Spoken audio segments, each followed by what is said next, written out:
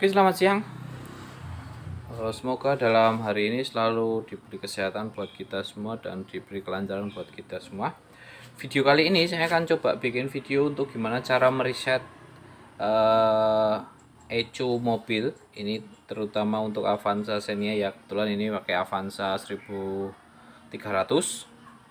Nah, untuk cara risetnya itu ada beberapa macam sih. Salah satunya itu dengan uh, riset minus akinya kita cabut minus akinya. Tapi ketika mencopot si minus aki biasanya di audio terus di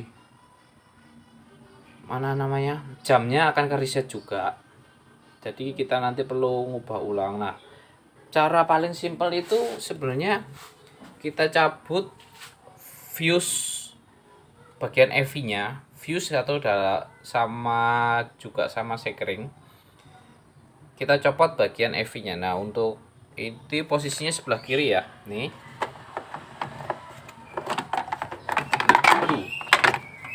Nah gini.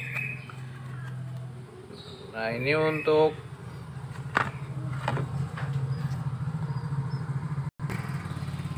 nah untuk posisi sekring EV nya itu ini 15 ampere dari sebelah kiri paling atas nomor 3 jadi ini tuh yang warna biru.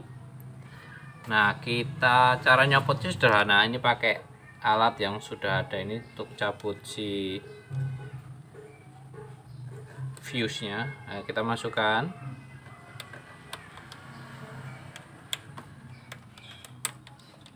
Kalau udah cabut aja.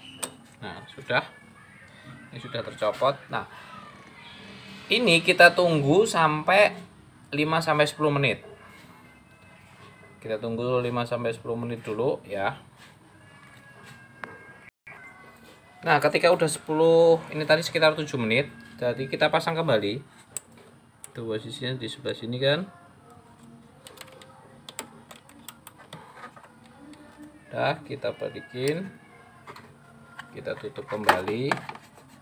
Nah, untuk langkah selanjutnya kita sekarang nyalakan mobil di posisi idle nanti kira-kira 5 menit.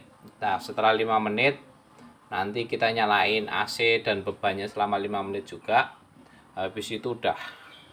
Oke, itu aja ya. Cara reset sederhana untuk mobil Avanza. Nah, fungsi dari reset ini adalah untuk menormalkan kembali kondisi mesinnya apalagi kalau udah terlalu berat gitu tarikannya mungkin bisa di reset ECU atau EV nya oke ya itu aja. Semoga video dari saya bermanfaat. Terima kasih